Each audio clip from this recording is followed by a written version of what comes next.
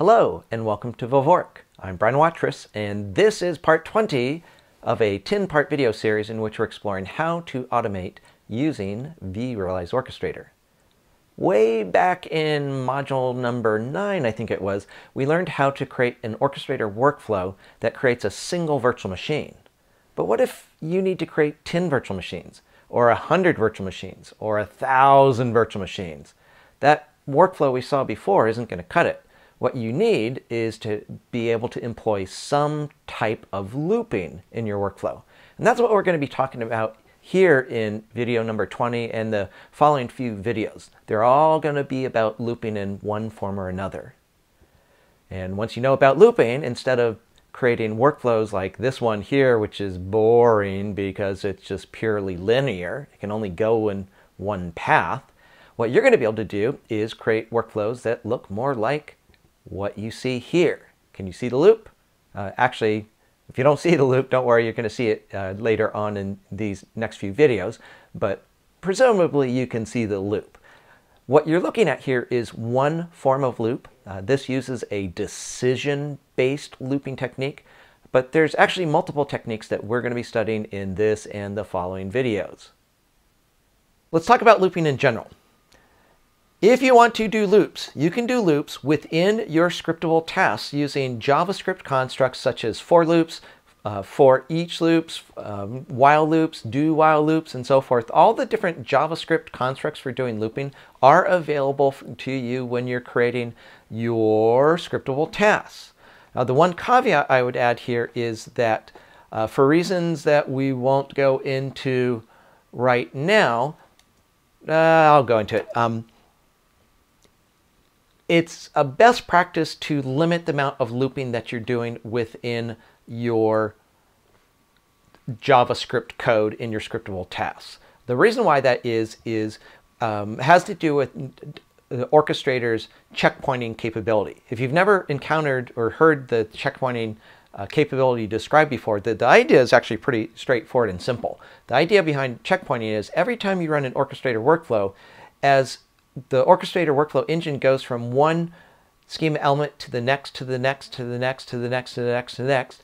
Each time we go to a new schema element, that's a checkpoint. An orchestrator writes out the complete state of your workflow execution so that if egads your orchestrator server goes belly up on you or somebody powers off the orchestrator server or if, if anything like that happens to the orchestrator server instead of your workflow dying and then you have to restart the workflow. With this checkpointing feature, you are able to simply restart the orchestrator server and the orchestrator server will see, oh, that workflow failed. And instead of restarting the workflow, orchestrator will automatically resume the workflow at the point you left off at. But again, that checkpointing has a granularity of schema element. Each time we get to a schema element, we will, each time we get to a schema element, we will do a checkpoint and that's where we can start again. On the other hand, if we had something, so, so that's great to, to create a loop like you see illustrated here. But if you've got a loop in this scriptable task that is looping, let's, let's say we're creating virtual machines and it's looping in here, it creates virtual machine one, two, three, four, five, six, seven, and it's on creating virtual machine 999,999 in that loop.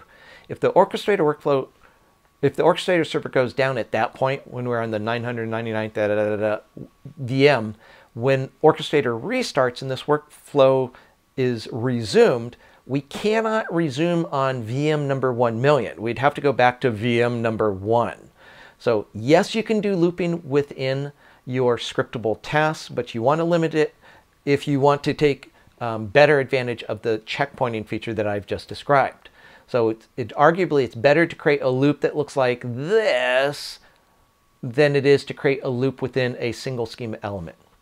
If you want to know about these JavaScript constructs that I've listed here, I'll give you some resources on how to look that up in a moment. But here's an example of a for loop.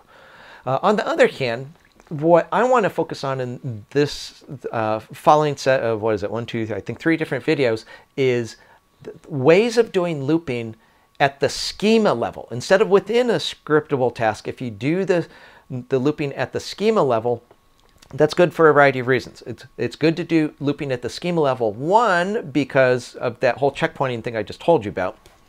But it's also good to do your um, looping at the schema level because it's more, let me go the right way, it's more obvious if I'm just looking at the schema, it's more obvious that there's a loop going on. I can see the loop right here, as opposed to if there's a loop inside of this one schema element, I can't see that just by looking at the, at the schema. So if you want to make your schema really obvious that a loop's going on, this type of loop, or something else I'll show you later on uh, three videos from now called a for each schema element.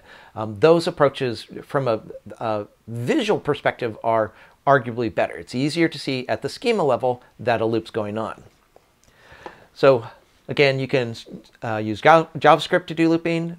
Plus, uh, we have several different types of, of um, schema-based looping that you can do. The one that I keep going back to and showing you, this here is uh, what I call a decision-based loop because the way you get out of that loop or the way you decide to go back into the loop is based on a decision. In this example here, I'm showing a custom decision, but it could be, uh, that's not a custom decision, that's a basic decision.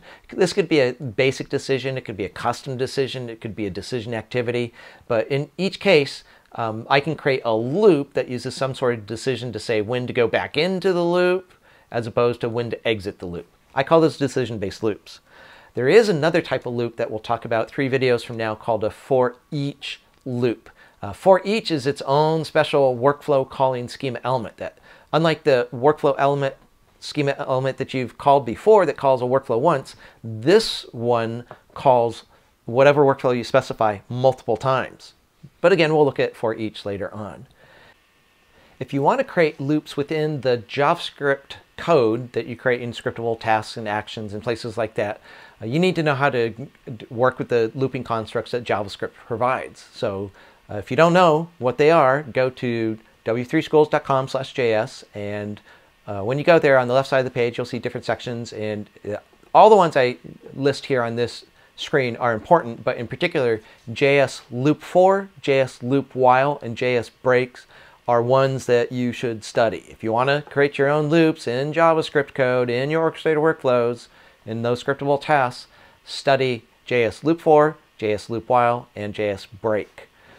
Speaking of break, it's uh, time to break out of this particular video. This was just our overview of the different looping constructs that are available to you. In the next video, what we're going to be doing is taking a look at one um, approach to doing decision-based looping. And in particular, what we're going to be looking at, something that you'll commonly see done in orchestrator workflows is we're going to take as input something such as an array of virtual machines. We're going to loop through those virtual machines. So again, that's video number 21. This is 20. We're, we're done with 20. Let's uh, go meet me over on uh, video number 21. So see you there.